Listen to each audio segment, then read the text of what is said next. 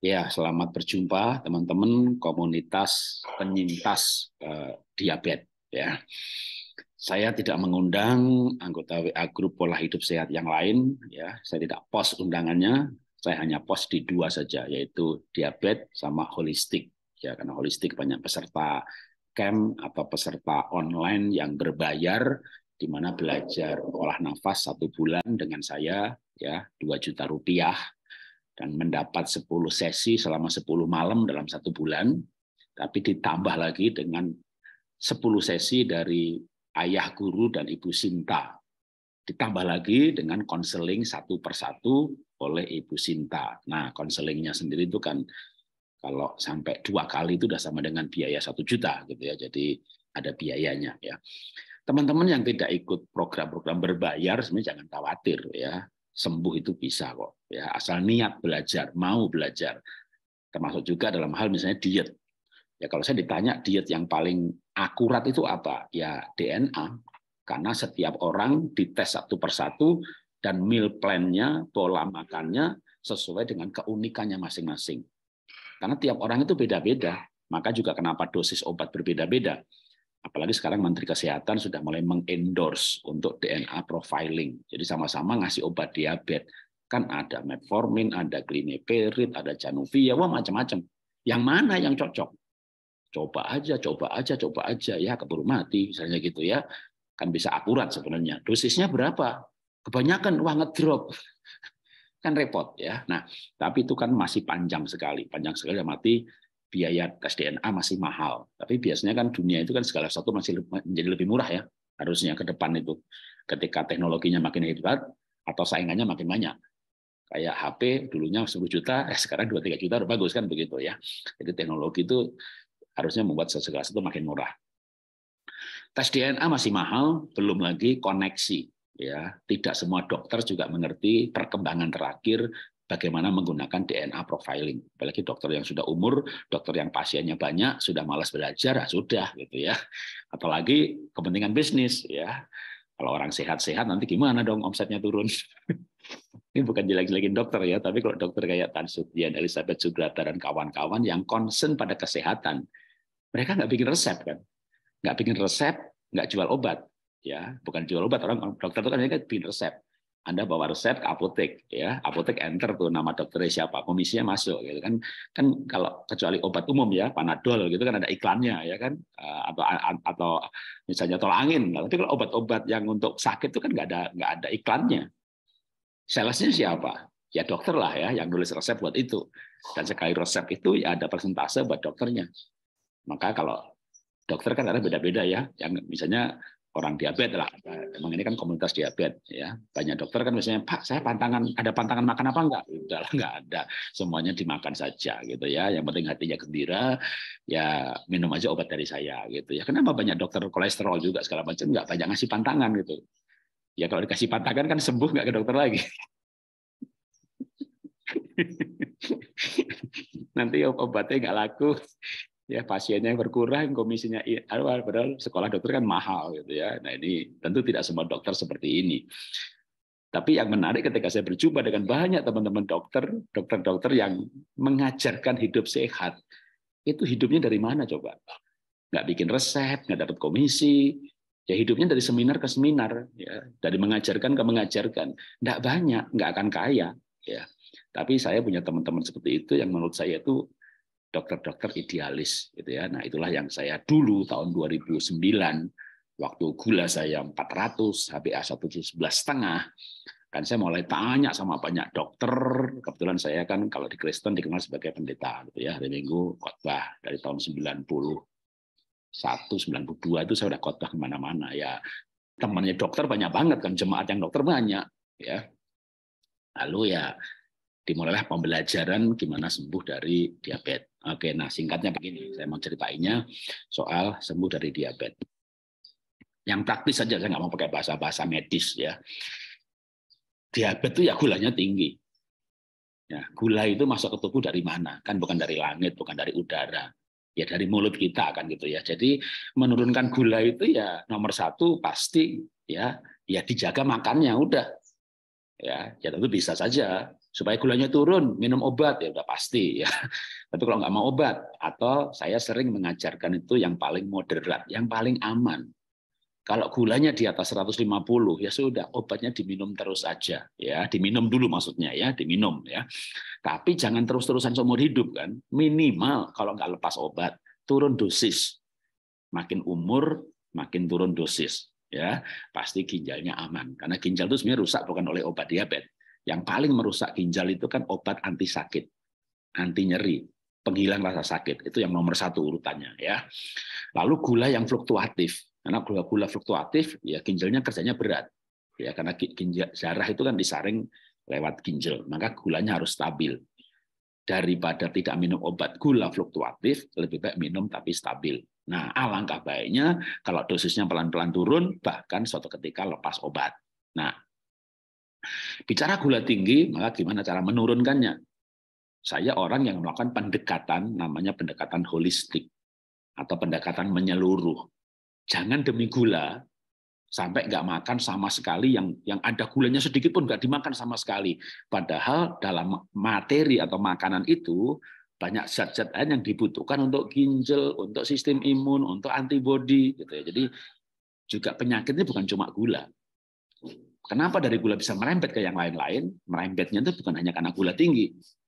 Kalau karena gula obatnya berlebihan, ginjalnya kena. Gara-gara gula, lalu nggak makan gula sama sekali, dalam arti misalnya rempah-rempah, ya pasti ada gulanya. ya Sedikit banget tapi Nah, lalu rempah-rempah nggak dimakan, padahal rempah-rempah itu antioksidan yang paling utama dalam rempah-rempah. Ya. Antioksidan ini jumlahnya ribuan. Yang satu dibutuhkan untuk prostat, yang satu dibutuhkan untuk metabolisme, yang satu membunuh kang apa menahan pertumbuhan munculnya kanker. Maka rempah-rempah harus dimakan. Sayur. Nah, sayur gulanya banyak. Kalau kalau apa? Sayur tomat, sayur labu, sayur Eh, buah-buahan ya wortel. Kalau itu tomat kan buah gitu ya. Semua buah gulanya tinggi. Makanya sayurnya apa kalau orang diabetes? Akar batang daun. Nah daun pun kalau dari pelajarannya Pak Waworuntu daun singkong pun orang diabetes itu singkong itu dari dari umbinya sak batangnya sak daunnya hindari semuanya. Kenapanya? Simak pelajarannya Pak Waworuntu aja ya. Karena itu ilmiah detail saya sekarang praktisnya aja. Jadi menurunkan gula ya pertama caranya mulutnya ini yang dijaga ya kan yang gulanya tinggi dikurangi. Tapi yang gulanya rendah ya menurut saya jangan apalagi di dalam materi makanan itu ada zat-zat yang penting. Agar-agar itu bagus, seratnya tinggi. Ya, tapi kan cuma serat istilahnya. Sedangkan sayur seratnya tinggi sekali. Di dalamnya ada mineral, ada vitamin, ada fitokimia, ada antioksidan juga. Maka untuk mengurangi gula, ya sayurnya tetap dimakan dengan segala rempah-rempahnya. Ya, mecin malah jangan. Mecin itu karsinogen. Karsinogen itu memicu kanker. Apalagi kalau orang sekresinya tidak bagus. Sekresi itu pembuangan racun dalam tubuh yang harusnya lewat keringat, BAB, urin. Ini harusnya racunnya ikut serta. Tapi ada orang kencing, racunnya nggak keluar. Berkeringat, racunnya nggak keluar. Nah, itu kalau mecin dimakan, ya walaupun terutama makan-makan yang memang mecinnya tinggi. Kalau saya mah sekeluarga emang nggak pakai mecin. Itu karsinogen. Ya, karsinogen itu memicu kanker. Nah, maka makanlah tetap sayur-sayuran dengan rempah-rempahnya, bumbu-bumbunya. Ya, kalau belajar dari dokter Prapti Utama, itu kan dokter rempah-rempah ya kan beberapa rempah-rempah seperti kayu manis, eh, bawang merah, bawang putih, ya itu justru menstabilkan gula. Jadi, nah sekarang, tapi Pak, saya udah coba Pak, kalau saya makan salad, makan sayur, sepiring Pak biar kenyang, ya. Gula saya naik. Nah, maka sekali lagi ya, gula itu kan masuknya dari mulut, ya, yang harus dibuang untuk orang diabetes, ya, buang aja ya, benar-benar jangan benar-benar jangan dimakan ya. Beras atau nasi mau hitam mau merah kalau saya pokoknya enggak sama sekali ya beras kentang umbi-umbian ya kalau sekali sekali umbi ungu makan tapi nanti pasti gulanya naik ya semua yang namanya apalagi sudah produk turunan Produk turunan itu kue, roti, biskuit, mau roti gandum, mau roti putih. Kalau saya udah enggak aja deh. Kenapa? Ya roti gandum ini kan kadang-kadang gimana kalau di luar negeri itu kan betul-betul ketat ya. Roti gandum utuh warnanya coklat dimakan agak seret-seret. Nah di Indonesia nih roti gandum warnanya coklat ya dikasih pewarna agak coklat-coklat maka udah paling amannya yang namanya bakmi, roti, umbi-umbian, getuk, jajanan pasar, semua produk dari tepung dan keturunannya, baik itu makanan basah, makanan kering, makanan kaleng, makanan plastik, udah kalau namanya diabetes itu dibuang semuanya. Ya, itu sudah pasti gulanya turun. Kalau misalnya dari 400-an ya mungkin udah sampai akan turun dari 200-an. Tanpa obat aja kita pasti itu turun. Ya, apalagi dengan obat ya 150-an. Lalu yang masih ada gulanya tapi sedikit yaitu sayur-sayuran dengan rempah-rempahnya tetap aja dimakan. Ya, nah buah, apuket dan salak. Ya. Selebihnya buah-buah yang lain difermentasi itu pun juga tidak mungkin difermentasi itu gulanya nol, tapi masih ada. Nah, tapi mikirnya tuh begini. Kalau kita sudah mulai mengurangi karbo-karbo yang martabak, apalagi kue tat, itu udah dibuang semuanya, itu pasti udah turun banyak. Ya, mungkin tidak dua digit kalau targetnya dua digit. Tapi sebenarnya gula itu kan 70 110 ya. Itu udah aman batas aman ya. Bahkan 120 aja masih batas aman. Kalau sampai 150 setelah makan atau sebelum makan itu 100 udah kayak orang pre diabetes maka tetaplah makan sayuran dan rempah-rempah. Kenapa saya tekankan hal ini? Karena hidup ini bukan cuma diabetes hidup ini bukan cuma gula dan sambil mengobati gula tidak boleh memunculkan penyakit-penyakit lainnya ya. Nah, maka langkah pertama adalah buang karbohidrat yang istilah saya itu karbohidrat murni gitu ya, walaupun dia tidak murni. Ya, di dalam singkong kan ada zat yang lain juga gitu ya. Malah kalau orang kanker disarankan, tapi kita bicara diabetes aja, memang yang rumit nanti kalau kompleks. Selain diabetes juga kanker, selain diabetes juga kolesterol, selain diabetes juga asam urat. Nah, itu kita bicara diabetesnya dulu gitu ya. Tapi yang pasti selama kita makan sayur-sayuran dengan rempah-rempahnya, karena di situ ada antioksidan, fitokimia, ada serat, maka yang lain-lain itu akan terkendali. Maka tujuannya justru gimana sembuh diabetes, tidak ada bonus sakit lainnya. Ya.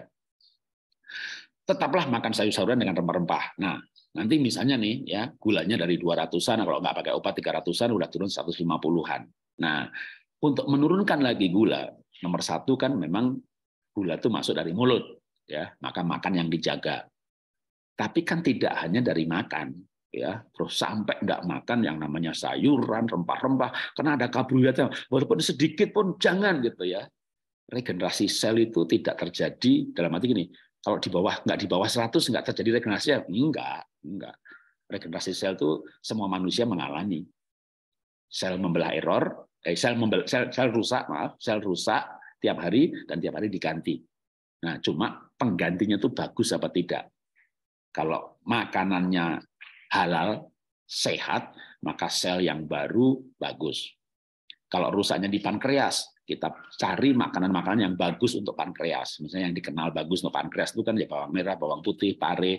Ini adalah untuk mengganti sel yang rusak. Sel yang rusak itu faktornya banyak ya. Bahkan dalam kondisi yang misalnya gulanya lagi tinggi, tidurnya kurang, itu pun tetap terjadi, tapi tidak maksimal. Kalau deep sleep, sinar matahari cukup, eh, gulanya rendah, tidurnya cukup, istirahat cukup, kena matahari, antioksidannya ada, enzimnya ada, katalisnya ada, karena untuk proses membentukkan sel baru itu kan metabolismenya panjang. Ya, Nah itu semuanya ada, ya pasti terjadi. Yang penting kualitas sel yang baru yang dibuat hari ini lebih bagus daripada yang rusak kemarin. Nah, itu butuh-butuhkan makanan-makanan yang sehat. Kalau disingkat, sehat tuh ya pokoknya halal itu sehat. Panjang lebarnya, ya simaklah pelajarannya sahabat Subata, Pak Waruntu, dan lain-lain. Mengenai protein sehat, karbohidrat sehat, sayur sehat, yang sehat-sehat yang apa. gitu ya. Nah, saya ulangin lagi. ya. Pertama, karbohidratnya dikurangkan, pasti gulanya udah turun. Tapi menurunkan gula kan juga bukan cuma membatasi makanan, kalau makanan dibuatasi sama sekali, ya pasti meluncur ke bawah gulanya. Tapi apakah itu berarti sembuh? Ya, begitu makan kan naik lagi. Ya, kalau sembuh itu berarti dua. Kan diabetes itu bisa karena pankreasnya jelek, berarti insulinnya sedikit, maka orang seperti ini suntik insulin pasti manjur. Yang kedua adalah resistensi insulin. Jadi insulinnya ada, tapi gulanya ngambang di darah nggak masuk ke sel. Nah, ini lebih panjang sebenarnya. Ya butuh olah nafas, butuh membuka sel-sel lewat terapi hipoksia, makanya Wim Hof ya karena Wim Hof itu buka sel, sel buka buka pintunya sel ya dengan terapi hipoksia. Nanti pintunya terbuka, oksigen masuk, gulanya masuk, maka yang di dalam darah yang di dalam darah gulanya turun dan selnya mendapat gula. Karena gula itu juga juga bagus. Kalau kita bahas ke apa kolesterol, wah bagus Pak, bagus ya sama juga kita bahas gula juga bagus. Kenapa? Bisa dibutuhkan untuk energi. Banyak orang diabetes lemes, tapi gulanya tinggi. Kok gulanya tinggi tapi lemes? Karena gulanya dalam darah, nggak masuk ke sel. Ya, namanya resistensi insulin. Insulin itu hormon. Maka nanti dibutuhkan hormon yang lain. Nah, di situlah meditasi, olah nafas, MBSR, MBCT yang berguna untuk keseimbangan hormonal. Di situlah butuhnya rempah-rempah dan enzim untuk keseimbangan hormonal. Hormonnya imbang, nanti resistensi insulin, walaupun secara DNA ada resistensi insulin, kalau saya itu percayakan tidak ada yang tidak bisa sembuh. Karena saya sudah tes untuk resistensi insulin, saya sudah hijau. Karena dulu merah, merah, kuning, hijau. Ya, jadi saya sekarang tidak resisten insulin lagi. Resistensi insulin itu insulinnya banyak, pankreasnya nggak masalah. Tapi dalam tubuh kita ini gula nggak bisa masuk sel. Jadi ada resistensi terhadap insulin. Nah ini hormonal. Nah maka harus disembuhkan juga lewat hormonal. Untuk hormonal itu butuh ketenangan batin, butuh enzim. Nah, bicara enzim, itulah kenapa saya mengajarkan probiotik. Karena tubuh kita tuh bikin enzim. Misalnya di mulut kita ada enzim amilase kan gitu ya. Ada enzim protease. Nah, itulah kenapa minum jus pro. Karena dalam jus pro itu ada bakteri termofilik. Bakteri termofilik itu menghasilkan enzim protease bakteri itu masuk dalam tubuh kita, maka tubuh kita menghasilkan enzim. Jadi kalau misalnya gini, kita tuh nggak perlu nggak perlu enzim, kan tubuh kita bikin enzim. Iya, yang bikin siapa? Dalam tubuh kita yang bikin enzim itu di antaranya adalah mikrobi mikrobiom dalam tubuh kita, yaitu mikroba dalam tubuh kita yang ada di mana-mana, di kulit kita, di pencernaan kita, yang paling banyak di kulit sama di pencernaan. Itu ada mikroba baik atau probiotik. Nah itu produksi enzim, maka kita harus minum probiotik. Probiotik. Oke, lagi mengurangi gula pertama dengan mengurangi asupan. Nah, yang kedua kan jadi bakar aja kan. Jadi bagaimana menurunkan gula? Tapi tetap dengan makan sayur-sayuran dan rempah-rempahnya supaya tidak kena kanker, tidak kena susah BAB, tidak kena prostat. Karena prostat itu hebat banget kesembuhannya lewat tomat. Nah, padahal kita diabetes harus mengurangi tomat tadi kan yang buah-buahan, sayur buah-buahan.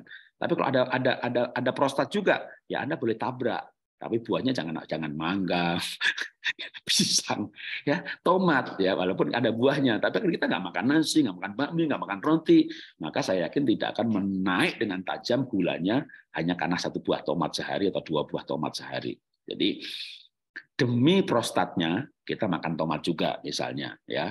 Lalu gula kita tuh nggak bisa di bawah 100 pak. Kan sekali lagi mengurangi gula bukan cuma mengurangi makan, tapi dibakar. Nah kita harus olahraga. Mau nggak mau kan, jadi emang nggak boleh malas orang diabetes itu nanti kalau udah sembuh nih, hasilnya apa? Hasilnya penguasaan diri dan rajin. Tambah satu lagi, baik hati. Begitu sembuh dari diabetes, kenapa baik hati? Ya, begitu nggak baik hati, ada marah, marah kortisol naik, kortisol naik menekan insulin, gulanya naik lagi, bahkan namanya fluktuatif gulanya.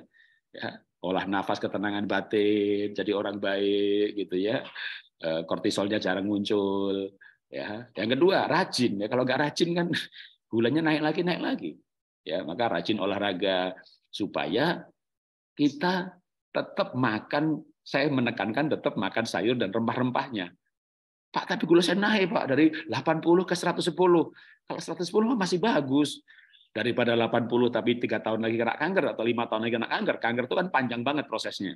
Dari mulai membelah error, membelah error karena tidak adanya antioksidan yang kurang, ya. Lalu lima tahun lagi kanker, aduh terlambat gitu ya. Jadi panjang lagi nanti ceritanya ada diabetes plus kanker. Nah, kalau karena makan sayur dan rempah-rempah gulanya naik, itu tidak mungkin naiknya itu kayak Anda makan roti, bakmi, nasi. Jadi jangan salahkan sayurnya, ya makan makan pizza, makan martabak, yang ini dibuang semuanya udah. Ya, gampangnya tuh gini loh kalau teman-teman tuh ikut kayak keto atau mobi, itu sebenarnya sudah punya dasar yang bagus banget. Ya. tinggal nambahi sayur dan rempah-rempah. Ya, kalau saya menyarankannya dari awal tetap makan sayur dan rempah-rempah. Tentu tidak akan menukik tajam gulanya ke 60, 70, 80. Percaya saya, sekalipun gulanya seratusan, regenerasi sel tetap terjadi. ya Dan regenerasi sel itu sekali lagi butuh waktu. Paling cepat aja itu tiga bulan.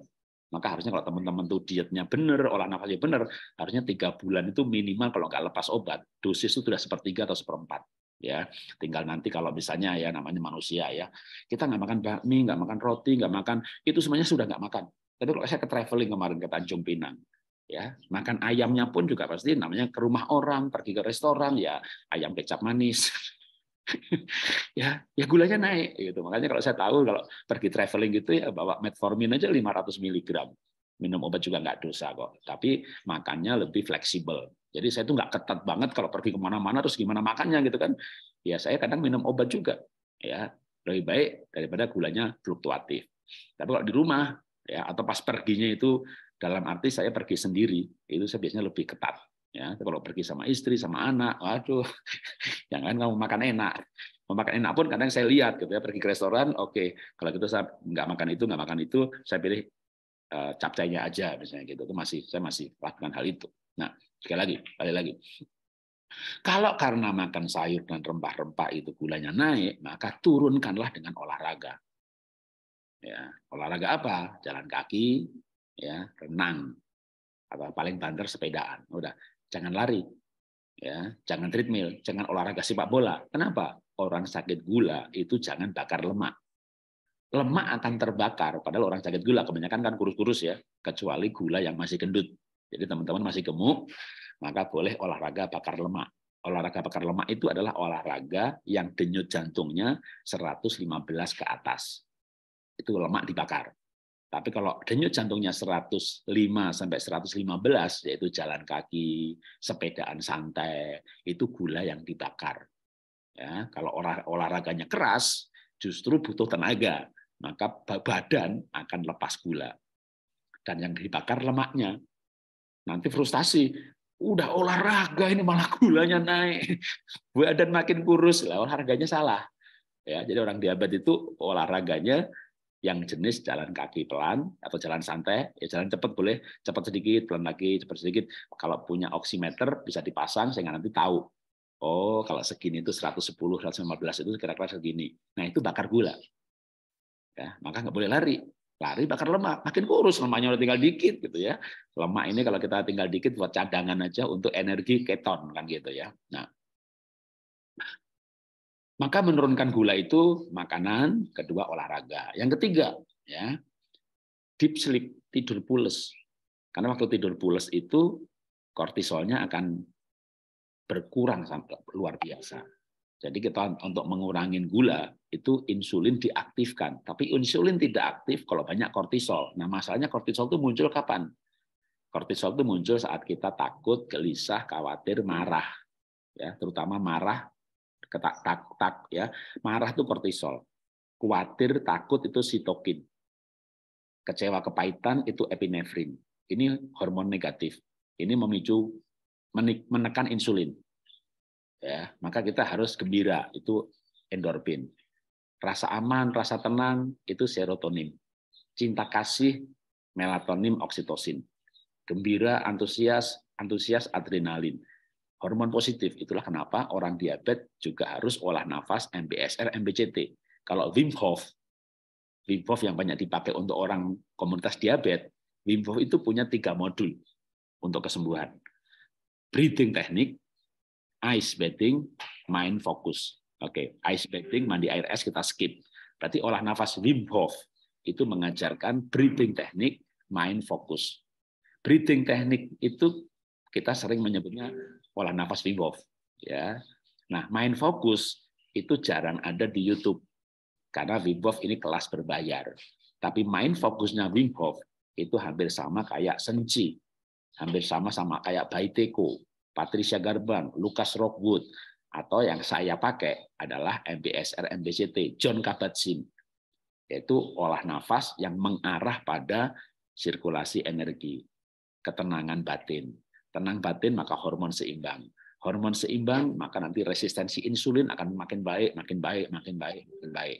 Belum lagi hormon yang lain berkembang eh, seimbang, maka kalau sampai misalnya kortisol muncul itu bisa berkurang. Pasti berkurang kalau orang banyak olah nafas ketenangan batin kan jarang marah gitu ya. Maka kita bisa mengurangi gula dengan mengurangi makannya, dibakar lewat olahraga, seimbangkan hormonnya, lalu tidurnya pules. Nah, kalau kita jalankan hal ini, kenapa sih gulanya naik-naik terus? Udah makan, udah diet pak, udah udah udah lo lo lo, lo karbo, bahkan mungkin ada yang sudah nggak makan sayur lagi gitu. Nah itu berarti udah tinggal masalah hormonal karena kortisolnya banyak naik. Kortisol naik itu kalau secara autonomic nervous system itu berarti kurang namanya parasimpatetic tone. Nah parasimpatetic tone itu kalau dihubungkan ke olah nafas itu buang nafas. Nah kalau makanya kalau kita kebanyakan Wim Hof, lega. Itu kan nariknya lebih panjang. Justru itu simpatik tone. Nah, makanya harus ada relaksasi. Ya, selesai Wim Hof, istirahat antar antar antar rate, tarik pelan-pelan, buang pelan-pelan. Di situlah para simpatetik tone. Makanya malamnya harus olah nafas yang diajarkan Wim Hof adalah main fokus. Main fokus itu tarik hidung, buang hidung. Matanya tertutup, ketenangan batin. Itu namanya mind focus Wim Hof yang jarang diajarkan karena itu ada di kelas-kelas berbayarnya Wim Hof ya.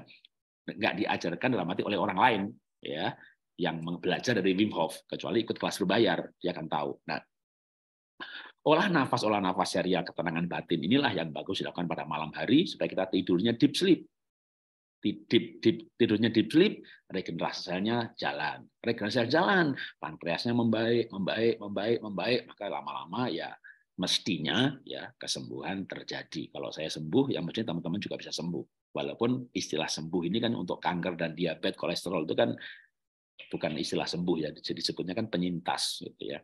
Dalam arti kalau saya makan nasinya nabrak ya, waduh, kan dulu saya sembuh, istilahnya saya anggap sembuh 2010 tujuh tahun saya nggak minum obat, nggak suntik insulin. Lalu saya pikir ya memang sebagai dengan istilah sembuh. Ya makanlah namanya bakmi, buah yang manis, apalagi ke Australia, gula saya naik lagi. Itu 2017. Maka saya benar-benar sadar, itu adalah pengalaman jadi sadar. Ya pola hidup namanya udah nggak makan nasi itu ya seumur hidup gitu ya. Ya memang awalnya sengsara, awalnya sengsara gimana misalnya 40 tahun makan nasi tiba-tiba enggak, maka boleh bertahap. Nah, di sinilah kalau mau kecuali yang memang, memang niat ya, niat ikhtiar, udah pokoknya nasi tidak, bakmi tidak, ini tidak begitu. Itu aja sengsara kok. Gantinya apa? Ya gantinya apukat gitu ya, gantinya sayur, gantinya agar-agar.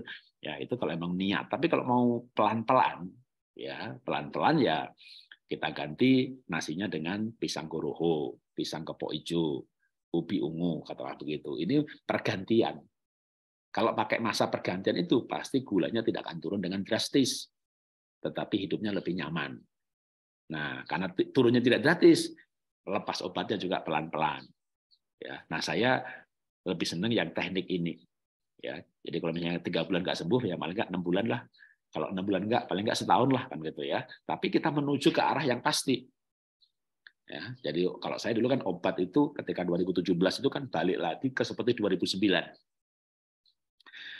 metformin pagi 1000 mili, janupiahnya 50 gram. Malamnya metformin lagi 1000 mg, glimeperidnya 4 gram. Nah, mulailah saya program penurunan obat. Glimeperid yang 1000 1000 itu beli alat pemecah di apotek alat untuk belah obat. Karena obat itu harganya 500 mg sama 1000 mg itu harganya hampir sama. Jadi beli yang 1000 tapi dibelah dua. ini kan diajari sama orang tua saya cara ngirit gitu ya. Jadi glimeperidnya yang 1000 dibelah dua. Janubiah yang 50 mg ini kan ada yang 50, ada yang 100 ya. Belah dua. Ya. Eh, Janubia belah dua, semuanya belah dua. Jadi harusnya pagi dua, malam dua. Menjadi pagi empat, malam empat. Nah itu tak kurangin satu, kurangin satu, kurangin satu, kurangin satu. Nah waktu mengurangin, misalnya kan glimeperid, eh, metformin, metformin, metforminnya 1000 gram itu menjadi 502 biji kan. Ini dikurangi kan jadi satu, jadi masih 500 mg. Yang palem juga kurangin. Nanti kan janupianya menjadi pagi ini dua butir, dikurangi satu, masih separuh. Jadi ketika minum itu masih ada kombinasi antara pagi itu 500 mg-nya metformin sama separuhnya 25 mg-nya januvia. Jadi ketika mengurangi itu satu demi satu gitu ya sampai nggak minum lagi. Nah kalau sudah nggak minum lagi, tapi terkontrol gulanya. Pokoknya kalau saya patokannya gula di atas 120 daripada saya fluktuatif, saya tetap minum tapi hanya tinggal metformin yang paling enteng kan dan juga paling murah 500 mg ya sehari satu kali. Jadi kalau makannya ketat, waduh tes gula di bawah 100 ya udah malah nggak usah minum. Malah saya kalau kadang di bawah 100 makannya nabrak. Tapi nabraknya itu saya pilih, misalnya manggis. Manggis itu bagus banget untuk ambeien, ya untuk basir ya. Maka saya makan. Agak manis. Ya makan cuma satu tapi nggak lima gitu kan. Makan satu pun saya ambil kulit dalamnya. Karena di situ ada obat diabetes juga ya. Obat ambeiannya juga. Ada antioksidan super juga. Ambil kulit dalamnya ya diuntal diuntal gitu. Terus punya manggisnya satu ya nanti pasti naik naik dikit nggak apa-apa kan kita tahu kan tidurnya pules olahraga jadi kita nggak ketakutan makan makanan yang mengandung karbohidrat karena kita juga butuh karbohidrat kan untuk energi. Nah, sekarang bicara energi. Sebelum saya jawab pertanyaan. Berbahagialah kalau Anda punya pankreas itu produksi insulin sama glukagon ya atau dengan kata lain yang gampangnya adalah Anda Anda punya metabolisme lemak itu bagus ya. Istilah yang paling umum kan diet keto. Diet keto itu adalah menggunakan energi dari keton. Keton itu adalah dari lemak di mana kalau gula atau karbohidrat ya rantai panjang kan karbohidrat sukrus dipecah-pecah-pecah sama tubuh jadi dari glukos lalu glukos ini dipecah jadi energi 8 ATP tapi kalau lemak itu 32 ATP nah makanya kalau orang yang metabolisme lemaknya bagus karena tidak semua orang bagus ya sekali lagi kalau punya duit tes DNA ketahuan metabolisme lemaknya bagus ah enak anda udah stop karbo sama sekali pun nggak masalah ya sampai tapi tetap sayurnya dan rempah-rempahnya gitu ya anda pasti tidak lemes. Kenapa? Tubuh Anda ini metabolisme lemaknya bagus. Sehingga lemak itu keton itu satu unitnya 32 ATP. Ya nggak lemes lah, malah tenaga Anda empat kali lipat setelah karbonya dikurangi pada level yang paling bawah, hanya makan sayur dan rempah-rempah, Anda kuat. Yang masalah adalah kalau ternyata sebenarnya Anda ini juga punya metabolisme lemak jelek. Waktu dikurangi karbonya, atau punya resistensi insulin, gulanya di darah, nggak masuk ke sel, tapi metabolisme lemaknya jelek. Jadi ada orang yang metabolisme lemaknya jelek, jadi bakar, bakar ketonnya ini jelek, ya pasti lemes lah. Nah ini butuh butuh butuh kombinasi yang jadi sebenarnya bakar karbonya gampang, ya, tapi kebanyakan. Tapi ketika mulai mengurangi karbohidrat, lemes terus-menerus. Nah, sebenarnya lemes itu bisa karena metabolisme tubuhnya itu tidak bagus dalam membakar lemak. Makanya kalau orang-orang tes DNA ketahuan, wah ini metabolisme lemaknya jelek, jelek, jelek, jelek. Kalau kayak gini ini eh, apa namanya diet karbonya kerendahan, pasti lemes. Maka tetap harus makan karbo untuk energi, tapi secukupnya. Secukupnya itu gini, misalnya kita itu kan ketahuan ya kalau tes tes pakai timbangan digital itu kita punya rata-rata energi yang kita butuhkan tanpa olahraga khusus. Gitu misalnya kalau 1.500 kalori. Nah, kita masih bisa makan karbo yang kira-kira sampai 500 atau 800 kalori yang paling tidak kita nggak lemes. Tapi jangan lebih dari itu. Kalau lebih dari itu nggak kebakar, nggak kebakar jadi gula, jadi gula gulanya darah naik. Jadi kita yang orang yang lemes-lemes itu ya jangan-jangan metabolisme lemaknya jelek. Ya, kalau mau punya kepastian ya tes DNA. Kalau nggak mau tes pak, bisa juga bukan metabolisme lemaknya jelek, tapi butuh masa penyesuaian. Ya, kalau butuh penyesuaian ini biasanya kalau orang makin muda penyesuaiannya bagus, sehingga lama-lama, wah nggak makan nasi, nggak makan apa-apa juga nggak lemes gitu. Karena lemes itu kadang kan begini ya, lemes itu bisa betul-betul tidak ada energi, bisa sugesti kan. Karena nggak makan nasi lemes nih, itu sebenarnya gelisah gitu loh. Ya itu gelisah. Jadi kadang manusia itu kan susah banget. Jadi bener apa enggak gitu loh ya. Nah kalau penyesuaian ya Anda bisa coba, coba, coba, coba sampai akhirnya ketemu. Nah dengan demikian maka lama-lama nanti kalau dites resistensi insulin udah hijau ya ya gulanya yang paling bagus HbA1c tapi kalau mau ngelihat juga eh, resistensi insulinnya udah bagus apa enggak yang murah itu ya QRMA ya. Eh, masalah akurat kan nggak ada yang akurat tapi indikator aja. Oh resistensi insulinnya udah hijau itu misalnya dengan dengan DNA itu mahal ya kan? Tes untuk hal itu kan tes DNA itu kalau lengkap kan yang genomik itu kan 9,8 juta belum termasuk meal plan. Tapi kalau QRMA malah banyak yang gratisan kan alatnya cuma dua dua setengah juta punya alatnya itu kan. Itu Dokter Mira, Pak Michael Suniardi, kalau di Bandung Ibu Sinta, ya di Surabaya Dokter Sasa, ternyata dokter-dokter dalam jaringan kita banyak banyak yang punya alat QRMA. Saya sih nggak beli ya. Itu bisa melihat uh, tingkat resistensi insulin misalnya gitu atau kondisi pankreas ya. Nah, dengan ini semuanya ya kita berharap ya mudah-mudahan betul-betul sembuh dalam arti pankreasnya sembuh, resistensi insulinnya sembuh. Tapi tetap ya kayak orang itu gini loh. Kita pernah patah tulang, apalagi patah tulangnya di umur 40 tahun ke atas. Ya, sembuh, tapi ya cacat kan gitu kan.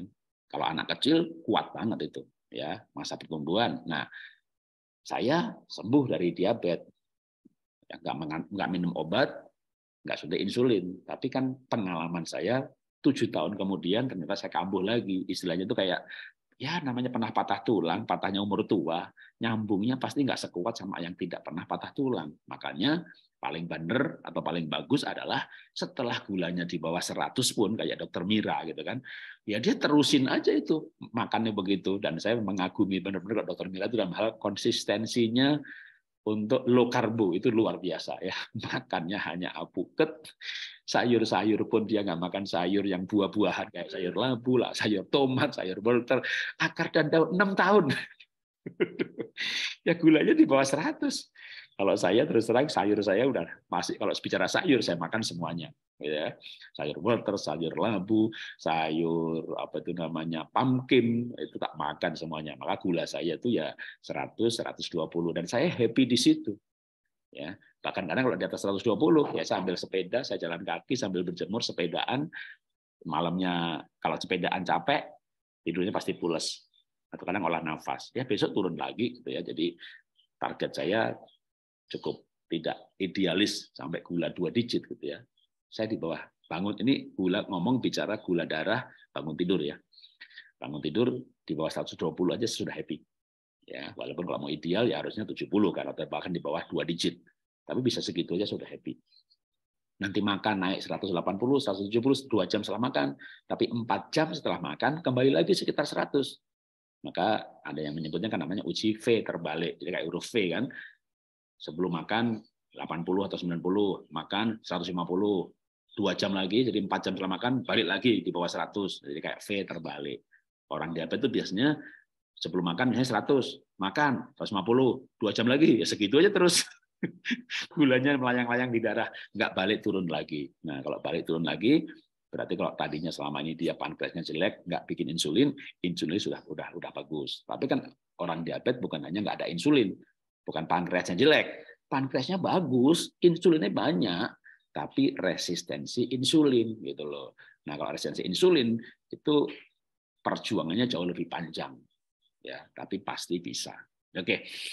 Sekarang saya akan menjawab pertanyaan ya. Oh iya, ini pasti sebelah. Oke, nanti pas sambil jawab pertanyaan ini saya tunjukkan barang-barang makanan saya, cemilan saya ya. Saya jawab yang eh, berhubungan dengan diabetes dulu ya ya ada yang kesemutan dan segala macam nanti aja telah selesai saya stop rekamannya ya uh, saya jawab ya ada kesemutan ada mata kedutan oke Bagaimana dengan buah kundur atau bigo menurut dokter Prapti buah kundur bagus ya. Jadi beberapa buah ya walaupun itu buah tapi bagus untuk orang diabetes itu kan buah kundur, beligo, pisang goroho, pisang kepok hijau, jadi ini kan makanan yang dari turun temurun dipakai untuk mengobati diabetes. Buah apa lagi? Kalau di India, tapi sekarang di Indonesia juga banyak eh, yang kayak berlendir itu apa namanya okra, ya buah okra itu juga untuk orang diabetes. Buah pare, pare itu kan buah, ya kan? Nah kalau saya termasuk yang setuju dengan memang secara turun temurun, secara tradisional bahkan dipakai untuk pengobatan. Ya, nah ibu saya diabetes, tapi memang ibu saya nggak lepas obat ya. Ibu saya diabetes dipanggil Tuhan umur 84. Dan itu akhir hidupnya tidak cuci darah. Tapi memang minum obat seumur hidup. Ya, nah itu nasinya itu diganti dengan pisang kepok. Jadi ibu saya setiap hari makan pisang kepok hijau yang masih kemerampu, jangan yang matang, dikukus, gitu ya. Ya memang nggak lepas obat, tapi kan nggak cuci darah, hidupnya sehat, sampai umur 84 itu ya nggak di kursi roda, ya umur 83 masih ceramah, kayak saya sukanya ceramah ya keturunan kan. Jadi kalau saya, kalau ada ini baru ditemukan ini malah saya ragu-ragu kalau yang udah turun temurun kalau saya pergi ke Sumat ke Manado gitu ya Sulawesi, Gorontalo. Kalau di sini orang diabetes makan apa sih gitu? Itu loh Pak, pisang guruhu itu Pak gitu. Tapi gua enak Pak, kecut Pak gitu. Kalau nggak enak mah udah biasa lah, saya udah biasa makan nggak enak. Otak saya kan saya makan nggak pakai mulut, pakai otak. Ini bagus nih saya makan. Jadi kalau itu saya percaya. Nah tapi sekali lagi sebenarnya masih ada yang namanya orang bilang itu cocok-cocokan. Tapi cocok-cocokan itu sebenarnya ilmiah loh, yaitu DNA. Ya, tapi DNA sendiri ilmunya eh, belum banyak. Tadi saya bilang eh, tesnya masih mahal, ya maka paling bagus itu sebenarnya coba aja, ya coba sayur pare misalnya ya, walaupun ilmunya kan kalau buah itu karbonya tinggi, maka sayur pun hanya yang akar, batang, daun. Tapi coba makan pare, ya. Tapi memang orang yang sedang eksplorasi itu harus rajin ngetes tiap hari. Jadi semuanya jangan berubah-berubah gitu ya. Minggu ini atau bulan ini makan kundur gitu seminggu membaik gitu ya. Asal yang lain sama ya. Makan kundur malamnya gelisah, marah ya pasti gulanya naik. Karena marah itu kortisol. Kortisol itu menekan insulin. Ya, maka jaga hatinya juga. Ini pertanyaan yang direct message. Pagi Pak, ada yang berkata jangan terlalu banyak makan sayur nanti asam urat. Ya benar juga kalau orang itu jadi asam urat itu apa sih? Jadi semuanya itu nggak boleh berlebihan ya. Jangan terlalu banyak. Iya benar ya. Terlalu banyak vitamin C, mual. Terlalu banyak minum air alkali, alkalosis. Alkalosis itu darahnya 88. Masuk rumah sakit tuh nanti. Darah itu 7,45. Ya, paling bawah 735 itu bicara darah. Maka semuanya nggak boleh terlalu ya, terlalu banyak kecuali yang bermasalah dengan pH tubuh gitu kan biasanya orang kanker kalau diabetes nggak terlalu ya ada juga yang bermasalah dengan pH tubuh ya maka cek gas darah di rumah sakit. Jadi yang terlalu itu nggak bagus. Nah, asam urat itu kalau kita bicara asam urat, waduh, itu kayak bisa bisa bicara kayak kolesterol gitu ya. Ini dibutuhkan tubuh untuk bikin hormon. Ini wah kolesterol itu sehat. Ya, sama, asam urat itu sehat. Asam urat, uric acid itu antioksidan. Dibutuhkan karena dibutuhkan, maka ada batas minimalnya kan. Tapi juga ada batas maksimalnya. Sama juga kolesterol. Saya, saya setuju dengan dokter-dokter yang mengajarkan ada batas maksimal. Ya, kan ada dokter yang memang dokter ini kan juga beda pendapat ya. Nggak apa-apa. Kolesterol 300 400 nggak apa-apa. Saya 50% setuju. Kenapa 50% setuju? Kolesterol itu untuk bahan hormon. Tadi kan mau mau menyeimbangkan hormon, ya kan? apalagi untuk laki-laki. Waduh, hormon laki-laki eh, testosteron nah, itu butuh butuh kolesterol bahkan hormon-hormon yang lain itu bahan baku hormon itu jadi kolesterol itu bagus banget itu itu itu kesehatan tetapi kenapa ada batas atasnya karena kalau orang marah misalnya ya orang marah ini nggak diabetes kita nggak ngomong nggak diabetes nggak ada diabetes nggak ada diabetes ya marah ya begitu marah kan tubuh siapkan energi maka kortisol dilepas kortisol dilepas, kortisol itu menekan insulin. Maka orang diabetes itu harus jaga kortisol. Ya, jaga emosi, jangan marah, jangan khawatir, jangan takut, jangan gelisah. Ini kortisol. Sekarang kita nggak diabetes. Saya aman, Pak. Kolesterol saya 400, saya nggak pegel-pegel, aman. Kolesterol bagus, Pak. Penting, Pak. Benar, benar semuanya. Saya punya teman dokter Sinta juga sering begitu. Nggak apa-apa, Pak Jarot. Kolesterol 300 nggak apa-apa, Pak. Tapi saya bilang begini loh, nggak apa-apa itu selama gulanya rendah. Ya kan saya aman, Pak. Saya nggak diabetes, Pak. Oke, marah, ngamuk, ya kan. Ngamuk, untuk ngamuk, untuk marah ini secara insting, secara sistem tubuh masuk dalam fight atau flight mode. Maka kortisol dilepas, insulin ditekan, gula dilepas. Kenapa gula dilepas? Karena marah, mau berantem, siapkan energi. Nah, waktu gulanya dilepas, walaupun nggak diabetes, marah, itu gula bisa 300-400 loh. Gulanya 300-400, ketemu kolesterol 400, kental. Karena kental, maka stroke, itu ya. Udah kental darahnya jantungnya gedung jeduk jeduk jeduk yang kental dipompa kena pembuluh darah yang sempit stroke. Makanya yang namanya bagus tetap ada batas atasnya. Kolesterol pun tidak boleh terlalu banyak kalau mau aman. Tapi kalau teman-teman gini saya meditasinya kuat kok pak. Saya yakin deh. Mobil saya digebukin hancur pun saya nggak akan marah gitu anak saya dianiaya sampai berdarah saya nggak akan marah. Ya aman. Anda kolesterol tingginya aman. Tapi kalau anda masih manusia yang ada emosinya kalau saya tetap menyarankan kolesterol itu oke okay, kalau dokter bilang laki-laki 200 batasnya wanita 180 kalau saya 250 oke okay lah gitu loh ya. Saya juga setuju dengan kolesterol itu aman. Tapi juga jangan 300 karena siapa yang menjamin kita nggak akan marah dalam hidup ini? Karena begitu marah gulanya naik. Gula naik ketemu kolesterol tinggi, kental. Nah, sama juga asam urat. Asam urat itu antioksidan yang bagus banget, uric acid.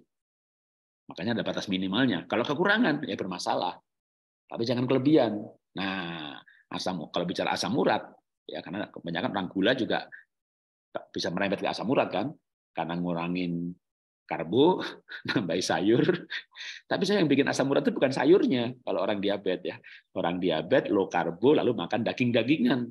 Nah, dagingannya apa? Sekali lagi, kalau orang diabetes mau makan banyak daging, dagingnya pun harus dipilih yang purinnya rendah. Karena purin itulah bahan bakunya asam urat. Maka purin purin itu di mana? Di jeruan, di lemak-lemaknya. Ya, walaupun orang diet keto Kan saya bakar lemak, jadi makan lemak banyak-banyak nggak apa-apa. Nggak apa-apa. Lemak yang baik tetap. Pilih lemak yang baik gitu, supaya nanti asam uratnya nggak naik. Makan sayuran sebenarnya pengaruhnya pada asam urat nggak setinggi dari daging-dagingan atau jeru-jeruan, ya purin dari situ. Lalu yang kedua gorengan, jadi bukan kacangnya. Saya ini, ini mungkin tak tunjukin sekalian deh ngomong di sini, ngomongin mumpung pas ngomongin asam urat. Eh, mana tadi? Wah, sorry, nggak disiapin. Kalau tadi lah, saya pikir saya makan kacang tapi juga ada batasnya. Satu hari satu genggam. Kalau tangannya gede ya segenggam, tangannya kecil genggam, tapi segenggam begini. Jadi kira-kira tuh 10 butir sehari kacang. 10 butir itu kacang metenya satu atau dua, ada kacang almond, ada kacang kacang apa kalau saya beli eh, kalau pas keluar negeri atau pergi di Indonesia aja di kayak Hero, kayak Rans Market, itu ada aneka kacang-kacangan, ada kacang Brasil, beli dikit-dikit, tak campur, jadi kacang Brasil itu bahkan dibatasi ya. Satu hari hanya boleh satu butir. Nah, itu nggak akan asam urat. Nah, sayur sekarang yang bikin asam urat itu apa? Sebenarnya itu bukan asam uratnya ya, tapi ketika uric acid itu ketemu zat besi, nah itu dia. Nah, makanya yang dihindari oleh orang asam urat itu sayur yang banyak mengandung zat besi. Apa itu? Bayam atau yang hijaunya tua, ya, yang warna hijau tua. Hijau bayam, singkong, dan juga kelor sebenarnya ya. Makanya kelor, tapi kelor itu ada singnya. Kelor itu disebut sampai herbal milk, ya susu herbal itu kelor. Saya makan satu hari satu jumput kelor. Jadi kok pagi saya makan dua telur. Sehari saya makan empat sampai lima telur.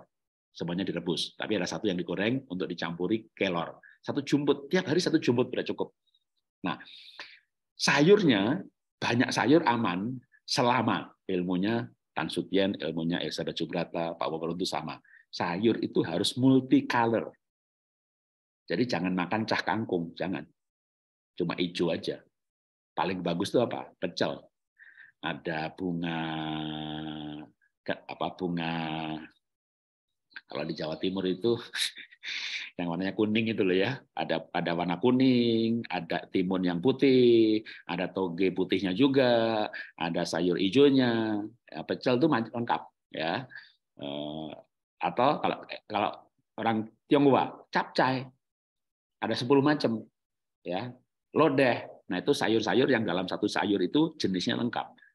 Itu paling bagus. Tapi kalau Anda suka kangkung, ya hari ini kangkung, besok toge, ya. Jadi satu yang satu warna satu warna gitu seminggu satu kali aja. Nah kalau sayur itu warnanya lengkap, ini ilmunya yang digampangkan, namanya food combining, food balancing. Di mana dalam satu minggu semua warna harus masuk. Ini ilmu yang digampangkan. Karena kalau kalau kalau jelimetnya gini, kuning itu karotin, merah itu beta karotin, hijau itu ini.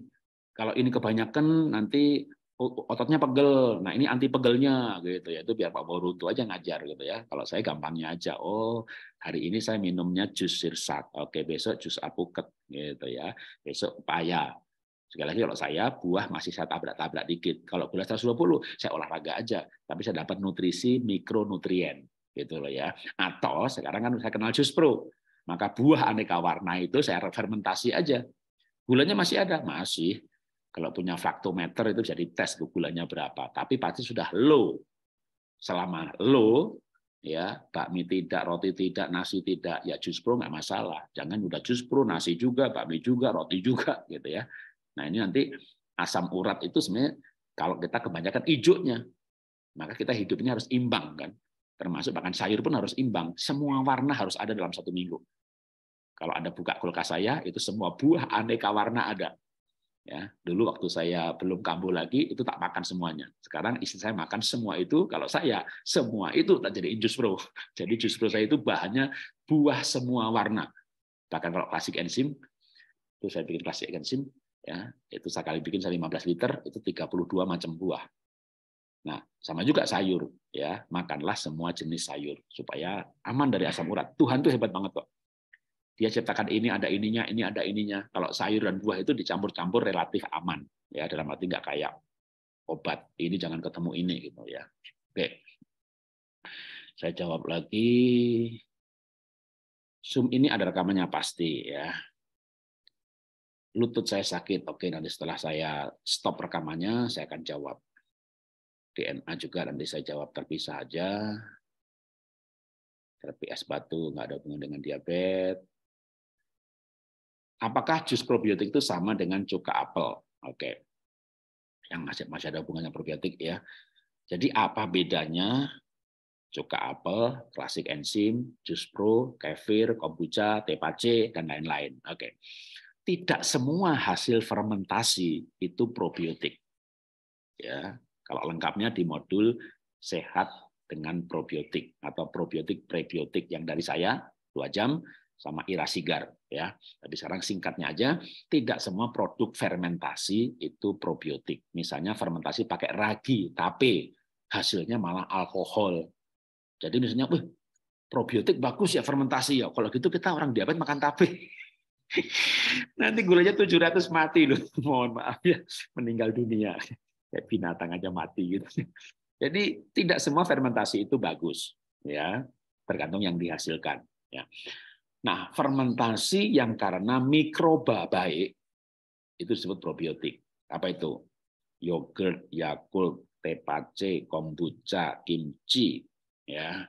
Eh, bahkan dark coklat itu itu masih ada probiotiknya juga Ya, ini probiotik. Jadi memang mengandung banyak probiotik.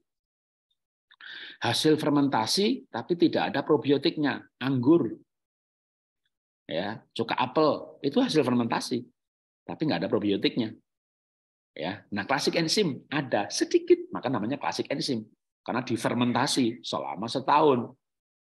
Ya, sebulan itu aja proses fermentasinya sudah hampir selesai. Kalau bikin ekoenzim itu tiga bulan. Sebulan itu fermentasinya sudah hampir selesai, maka udah nggak keluar gas lagi. Yang ada apa? Dilanjutkan dengan proses namanya ya kalau gampangnya bahasa Indonesia-nya pelarutan atau ekstrasi.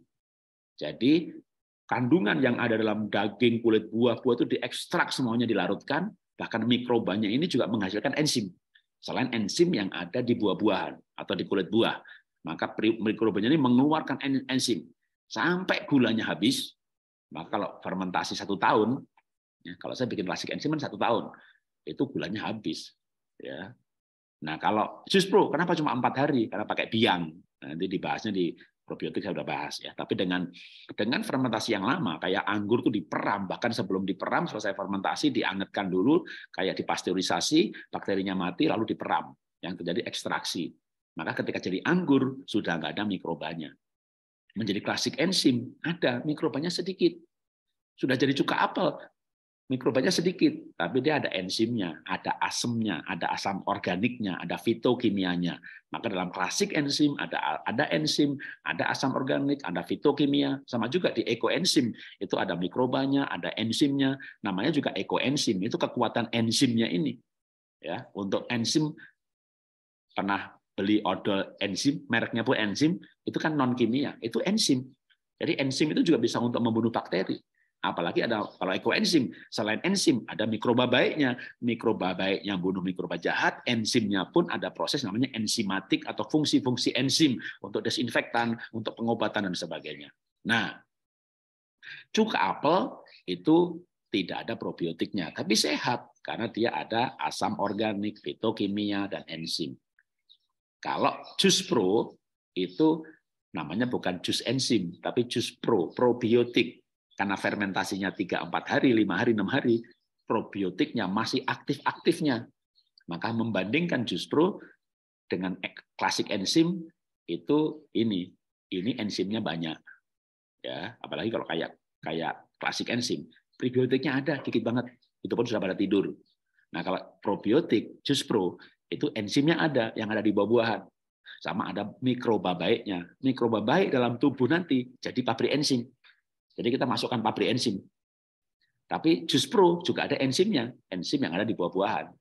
Nanti probiotiknya ketika sebagian mati, sebagian hidup dalam tubuh kita, nggak semuanya hidup, ya hanya yang bertahan, yang bertahan itu hanya akan produksi enzim di dalam tubuh kita.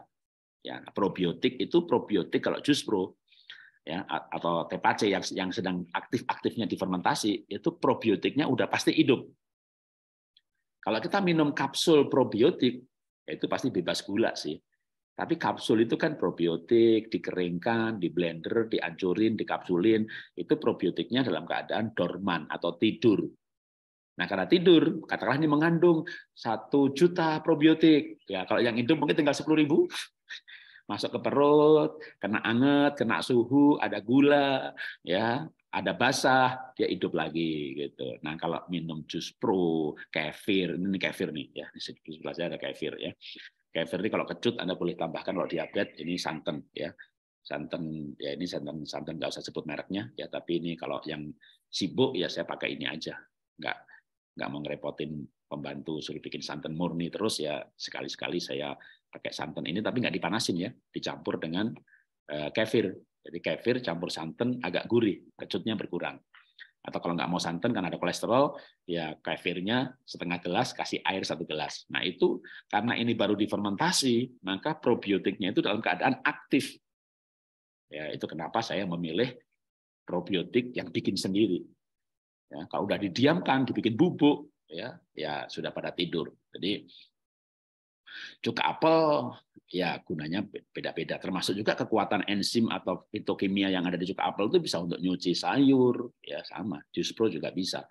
Anda encerkan seribu kali aja, nanti bakterinya mati dalam 10 menit. Tapi kalau untuk melarutkan pestisida yang di sayur dan buah itu 40 menit, baik ekoenzim ataupun jus pro butuh waktu 40 menit ya. Jadi bisa untuk jus pro itu untuk nyuci sayur bisa juga buah kundur apa masuk ke Google aja ketik buah kundur nanti muncul ya. Beligo masuk ke sekarang nanya di Google jauh lebih cepat sampai ada gambar-gambarnya. Kalau saya mesti buka Google juga ya. Oke eh, rekaman. Ya bunga turi betul. Pecel dengan bunga turi ada kadang kepleng. Gula Pak Jarod 100 sampai duluan gula darah atau kapan? Bangun tidur ya bangun tidur. Takaran minum jus pro kefir satu hari dua gelas. Malam kalau saya biasanya jadi kebiasaan ya makan malam itu kefir satu gelas, makan siang itu jus pro satu gelas. Udah cukup, sudah cukup. Dari segi antioksidan cukup, vitamin cukup, ya eh, probiotik cukup. Sekali lagi semua yang baik kayak tadi sayur kebanyakan asam urat ya betul. Kalau probiotik masuk aja Google bahaya kebanyakan probiotik. Nanti kan dari Halodoc, dari sehat.com muncul semuanya. Bahaya kebanyakan probiotik. Semuanya kalau kebanyakan itu bahaya. Bahaya kebanyakan kolesterol, masukin pasti ada. Yang itu ada benernya. Ya walau ada yang bilang tadi, nggak apa-apa, nggak apa-apa, 400 nggak apa-apa. Tunggu aja dia marah. Mudah-mudahan jangan. Kalau dia marah beneran, gulanya naik, ketemu kolesterol tinggi, atau kita dengar kabar stroke, stroke, stroke gitu ya. Oke, Justru kalau sudah asam lambung aman, asal tadi semuanya ya. Saya tuh mengajarkan minum jus kefir itu bersamaan dengan makan. Kenapa? Anda nggak minum jus pro, Anda makan sampai di lambung, tubuh lambung akan produksi HCl. Karena kalau makan itu sampai di lambung, pH-nya harus 285. Makanya kalau pas makan jangan minum air alkali. Sejam kemudian minum air alkali. Sebelumnya air alkali. Pas makan minumlah jus pro atau kefir. Karena kalau minum jus pro yang misalnya pH-nya 5 atau 4, kalau Anda saya fermentasi satu minggu. Bukan tiga hari kalau saya. Makin kecut. Saya minum saat makan. Maka makanan bercampur dengan kefir atau jus pro itu makanan sudah cukup asam sehingga asam lambung malah tidak keluar banyak-banyak. Seberapa banyak asam lambung dikeluarkan? Pokoknya target hasilnya lambung itu suhunya 3839, pH-nya 285. Kalau enggak 285, karena Anda makan, minum air kali, makan, minum air kali, keluarin asam lambung terus, enggak 285, maka bakteri patogen masuk ke tubuh malah jadi penyakit. Jadi jangan minum air alkali saat makan. Ya. Jadi minum jus pro kefir nanti malah begini, kalau Anda makan campur jus pro, makan campur kefir. Misalnya gini nih, tanpa dan kefir, asam lambungnya keluar katakanlah 30 mili untuk mencapai 285. Ya, itu harus Anda belajar soal lambung. Anda belajar biologi nggak waktu SMA dulu ya, pH lambung berapa gitu ya, ketik aja di Google. Kalau kita nggak minum nggak minum jus pro atau nggak minum jeruk lemon, nggak minum kefir pada waktu makan, ya Lalu maka diproduksilah asam lambung katakanlah 50 mili supaya 285. Tubuh kita kan cerdas, ya cerdas dalam arti ada indikatornya, ada sensornya. Anda makan, minum justru satu gelas. Ya, bahkan sebenarnya kalau mau dua gelas pun nggak apa-apa. Cuma saya itu kan ngapain dua gelas, satu gelas cukup gitu ya. Lalu pH-nya menjadi bukan tujuh nih, sudah enam atau malah sudah lima, tapi nggak mungkin lima karena justru kan lima kecampur makanan jadi enam maka bukan 50 mili asam lambungnya keluar 40 cukup Begitu dikeluarkan 40 atau 30 mili, sensornya mendeteksi 285, di stop. Apa artinya di stop? Artinya asam lambung tidak akan keluar banyak-banyak. ACL-nya keluar banyak-banyak. Kenapa? Jangan keluar banyak-banyak. Kadang-kadang asam lambung ini keluarnya otomatis. Jam 12 siang, biasa makan, dia keluar. Nah, kalau Anda biasa makan sambil minum banyak-banyak, makanya jangan minum banyak-banyak. Minumnya ada kali lagi sambil makan minumnya dikit aja. Sesudah makan minum banyak, sebelum makan minum banyak supaya makanan ini kental. Lalu nggak untuk 285 nggak punya nggak, butuh banyak asam lambung. Sekarang dibalik yang biasanya salah. Sambil makan minum lagi, minumnya alkali lagi. Keluarnya 100 ml ini asam lambung. Suatu saat Anda nggak makan, terlambat makan, udah biasa 100 ml asam lambung. 100 ml asam lambung keluar, lambung Anda luka. Itu namanya mah lambungnya nggak luka, asam lambung naik ke atas kerongkongan, itu namanya GERD. GERD itu asam lambung yang naik. Maka kebiasaan mengeluarkan asam lambung ini seberapa banyak harus kita atur, jangan banyak-banyak. Caranya gimana?